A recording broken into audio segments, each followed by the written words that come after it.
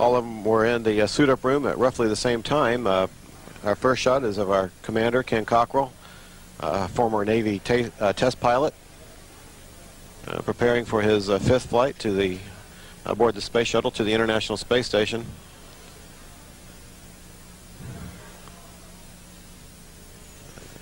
He's been an astronaut since 1990. And our pilot, Paul Lockhart, flying for the first time today.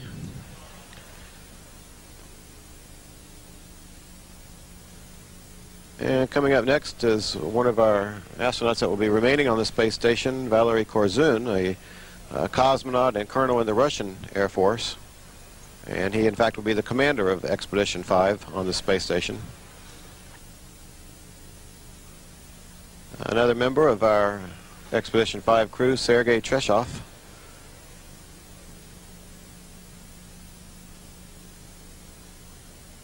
And this will be his um, first flight into space. And this is Franklin Chang Diaz, uh, also a mission specialist, making his record-tying seventh space flight, a record that he'll share with astronaut Jerry Ross. Again, all seven astronauts walk out of their crew quarters. Uh, Commander Ken Cockrell, pilot Paul Lockhart, mission specialists Philippe Perrin and Franklin Chang Diaz, as well as Expedition 5 crew members Peggy Whitson, Valery Korzun, and Sergei Treschev. And the ground launch sequencer has indeed begun the retraction of the orbiter access arm. This is the walkway used by the crew to gain entry into and out of the vehicle, and it can be returned to position within seconds if necessary.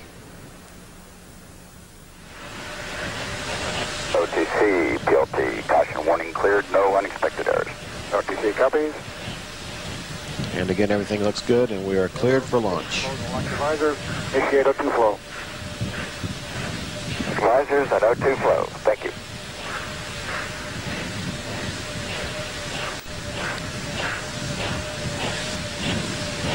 T minus two minutes and counting.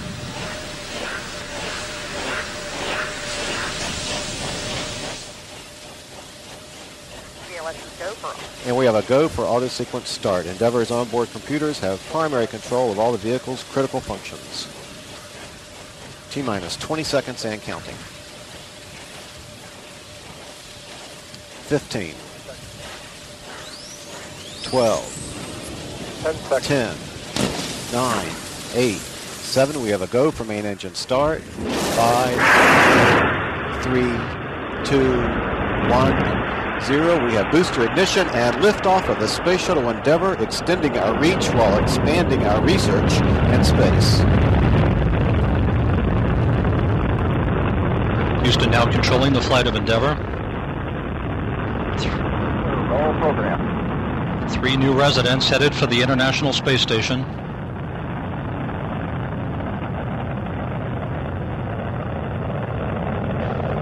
Endeavour completing its roll, 51.6 degrees inclined to the equator. The shuttle heads down wings level for the eight and a half minute ride to orbit.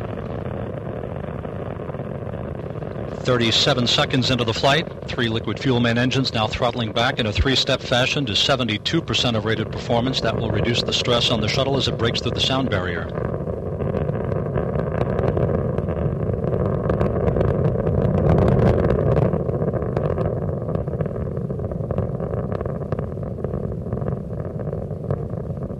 Endeavour Houston, go at throttle up.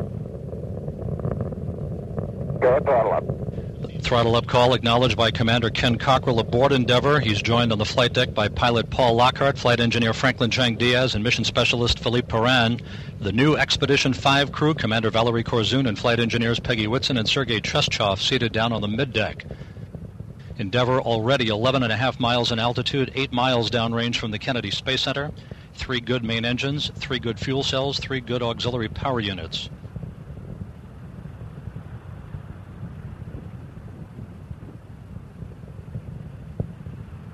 One minute 40 seconds into the flight, about 25 seconds away from solid rocket booster separation. Endeavour traveling almost 2,400 miles an hour.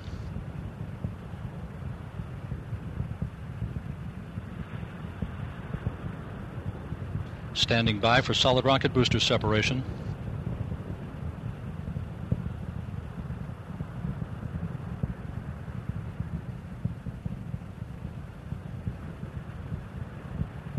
Booster officer confirms a good solid rocket booster separation. Guidance now converging. The onboard computers commanding the main engine nozzles to gently swivel, aiming the shuttle for a precise keyhole in space for main engine cutoff. Endeavour 34 miles in altitude, 41 miles downrange from the Kennedy Space Center, beginning to pick up speed. Endeavour Houston, two engine Morón. Copy, Houston Morón. That call from Capcom Bill Oefelein indicating that if one main engine should fail, we could reach transoceanic abort site at Morón, Spain. The orbital maneuvering system engines have now ignited to provide Endeavour with a kick in the pants heading uphill toward the International Space Station. Once again, uh, the crew on board the International Space Station, Yuri Onufrienko, Carl Walz, and Dan Bursch, were informed uh, of the successful launch of Endeavour by Expedition 3 Commander Frank Culbertson, who dropped by the uh, Capcom console in the International Space Station Flight Control Room a short time ago. They, of course, uh, were delighted at the news. Guten Frank. Меня новости. Yeah, waiting for you. Aloshi Yuri Poiré. The shuttle has launched. It's on its way. All right. Good. Thank you, Frank. happy to hear that. But I wanted to say hello and uh, uh, congratulate you guys on a fantastic mission. Uh, you have a lot to do yet, but uh, you've done a great job up there.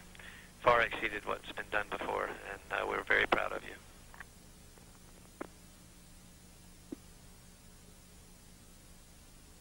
Thanks, boss. And we look forward to seeing you soon. Won't be long, Carl. Yeah, thanks, You're Frank. welcome. See you all later.